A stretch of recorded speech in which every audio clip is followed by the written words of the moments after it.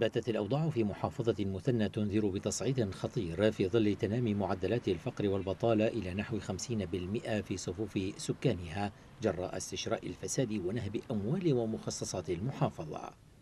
آمر لواء أنصار المرجعية حميد الياسري دعا إلى موجة احتجاجات جديدة في مدينة السماوة مطالبا بغداد بإرسال حاكم عسكري إلى المحافظة لوضع حد للفساد. وهو ما اعتبره مراقبون بداية شرارة ستعصف بجنوب العراق الذي يعاني منذ عقدين من وضع خدمي بائس في ظل صراعات سياسية ارتفعت وتيرتها مع إعادة تشكيل مجالس المحافظات حيث تفاقم الامتعاض الشعبي من وعود القوى السياسية في التغيير.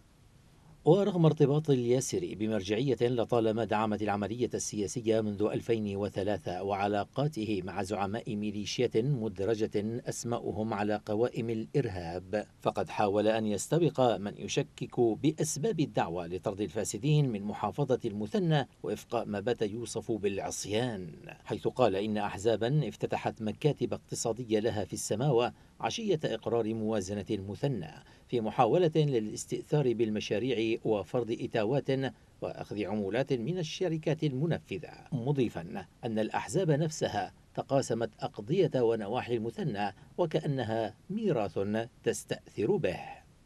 الياسري في عام 2020 وجه انتقادات لاذعة لأحزاب السلطة وميليشيات الحشد التي فصل لواءه عنها وقال إن العراق ضحية مؤامرات لطبقة فاسدة تعتاش على سرقات حقوق الناس. والعراق ضحية لمؤامرات طبقة فاسدة لعينة دينها الكفر وعقيدتها العهر. وشعارها الفساد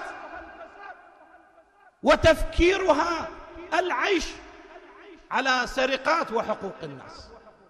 المثنى رغم ما تمتلك من مؤهلات اقتصادية وزراعية إلا أنها تعاني واقعا خدميا وحقوقيا مترديا في ظل وجود عشرات القضايا المرفوعة أمام النزاهة عن ملفات فساد مالي تورط بها المسؤولون الحكوميون الذين تعاقبوا على إدارة المحافظة فيما تساءل مراقبون عن إمكانية نجاح الياسري في تأمين زخم شعبي كفيل بإزاحة الفاسدين عن محافظة يوجد في باديتها وقرب الحدود مع السعودية أكبر مشروع لميليشيا الحشد. ضمن شركة المهندس المرتبطة بالحرس الثوري ويشرف عليها رئيس أركان هيئة ميليشيا الحشد عبد العزيز المحمداوي أبو فدك